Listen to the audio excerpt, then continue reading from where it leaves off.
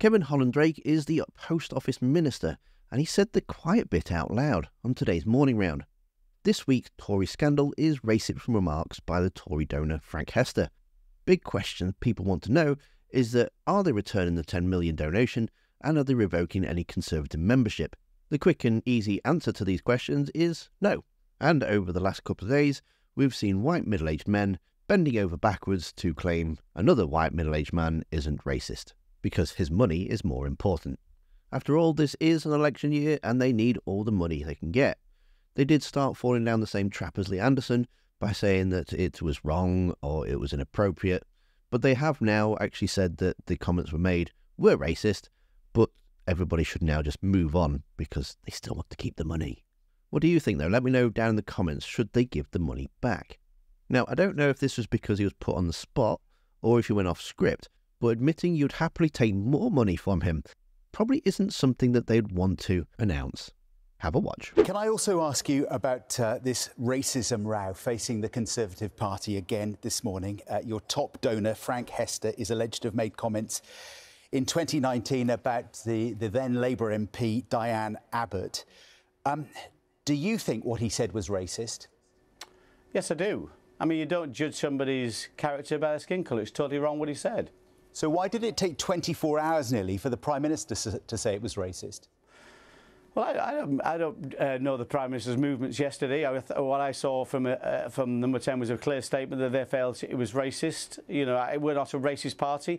I, I've never met Miss Hester. I don't think he's a racist person. I think he said something was stupid, completely inappropriate. We all say stupid things at times. I don't think people generally say something as stupid as that. But he's apologised. I think we should try and move on from that. Uh, I guess given his own heritage that made people even more surprised that Mr Sunak wasn't quicker to condemn this as racism. Um, were you, as ministers, as, as a, a, government team, being told yesterday, before the Prime Minister uh, said it was racist, not to say it was racist or deny it was racist? No. That Mr Hester had apologised. What was he apologising for? Then that com comment was completely inappropriate. But you can see that people watching yesterday and now today and hearing the change in language, change in tone, might think that the Prime Minister didn't have a grip on this. And I know he's got lots of stuff on his plate, but this was the big story yesterday. It's the big story again today. And it seems like there wasn't a great deal of directional consistency coming from number 10. Well, you can assess what he said in lots of different ways, but I, I think in terms of how I read it, how I see it, he was talking about uh, Abbott's skin colour and and, assess, uh, and, uh, and using that as a way to judge her character. That's absolutely the wrong thing to do, and he's apologised for it. The Prime Minister's been clear it was a wrong thing to say, and it's right that he apologises. Uh, you know, I don't believe Mr Hester is a racist person. I've never met him. I can't really make that judgment. But um, we should people we should always uh, try and judge people's character um, in, in, the most uh, you know in, in fairly um, based on what they say and uh, what he said here in a private conversation half a decade ago. He's apologised for. I don't think we need to spend too much time on that, given the, he's made that apology. And a lot of people, even within your own party, are saying this morning that, that that doesn't sit right, that you should give the money back. Do you agree? No, I, I, don't agree with that. If Mr Hester was a racist, if he, if he refused to apologise for what he said, that would be different. I think a lot of people watching this programme have been deeply shocked by this story over the last, uh, what, 36 hours now. And for them, it is a big issue because it tells them a lot about the government and what the government thinks and how it operates and about community cohesion. And they've been really disturbed by this and they would like you to give the money back. I mean, if, if Mr Hester today said, right, I'd like to give you another £10 million, would you take it?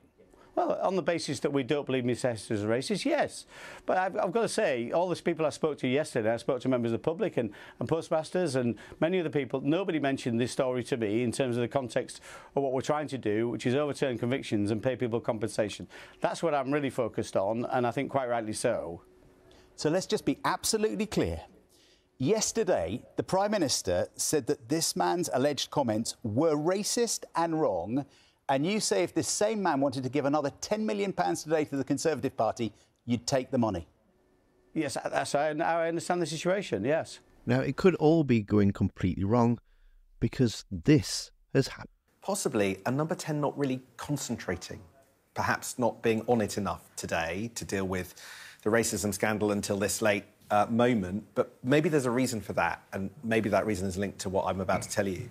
I've discovered that last night Rishi Sunak had a private, secret meeting with Sir Graham Brady, the chairman of the 1922 committee. Now, there was always going to be a meeting with a slightly bigger group of people of Sir Graham Brady and his executive with the Prime Minister. That's normal and routine. But Graham Brady appears to have requested an additional one on one meeting that nobody else was present for on top of that. That is significant, Sophie, because when that happens, how can I put this? It, it often means something's up. Now, I can't tell you what was said in that meeting. I can't tell you any account of what's happening because nobody wants to go into detail. I just know that it was not on the schedule and people were surprised that it took place. The last equivalent meeting like that took place just before Liz Truss was dethroned when Sir Graham Brady went to see Jeremy Hunt, who at that point was a pivotal figure in that administration to warn him about what was happening. Uh, at that point, there seemed to be sufficient letters potentially going in for a vote of no confidence.